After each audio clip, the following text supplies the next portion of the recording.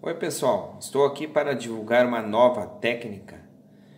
Não sei se é tão nova assim, mas é, eu aprendi pela dificuldade que eu tinha de encontrar uma forma de plantar o flamboyant, uma planta muito conhecida na região tropical, uma planta, uma das plantas mais belas da região brasileira, né? assim como outros países.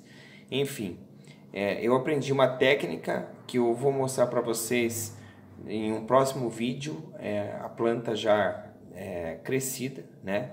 Mas hoje eu vou deixar para vocês uma amostra do que eu aprendi de como se fazer a muda do flamboyant, ok? Então vamos lá. Eu não sei se o vídeo está muito bom de, de luminosidade, porém essa aqui é a casca, né? É a semente da planta do flamboyant, né? Eu já tirei as sementes aqui, como vocês podem ver.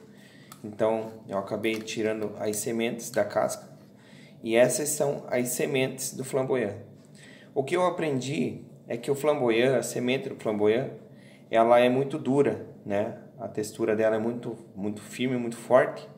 E ela é, demora meses é, para nascer, tendo uma boa, uma boa é, questão de, de é, umidade, né, para ela poder se desenvolver. Então ela, ela depende de vários fatores para poder se desenvolver e para ela sair dessa casca, dessa textura tão grossa. Então eu vim aqui para ensinar vocês a fazer com que ela desenvolva de uma forma mais rápida, né?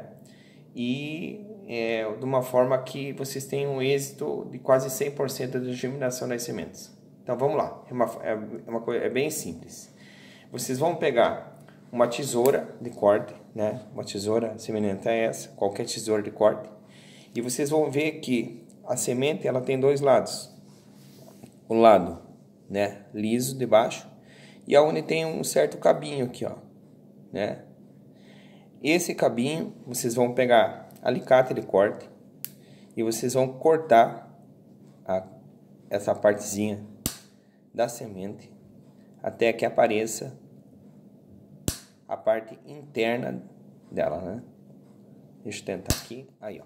Aqui tá bem claro.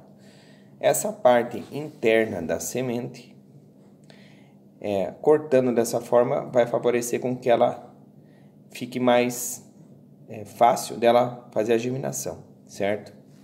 Aí eu tô com várias sementes aqui que eu tirei dessa casca, né? E vou fazer um exemplo para vocês hoje da forma que tem que ser feito. Nós vamos pegar um copo d'água, um copo d'água, né? Um copo de 250 ml de água. E nesse copo d'água nós vamos colocar 3 quartos dele com água potável, né? Então deixa eu colocar mais para cá o copo para vocês verem. Nós vamos colocar dentro desse copo nós vamos colocar um quarto de vinagre, qualquer tipo de vinagre que vocês têm em casa, né? Aproximadamente um quarto de três quartos, né, de vinagre, e vamos colocar a sementinha dentro dentro desse copo de vinagre, né?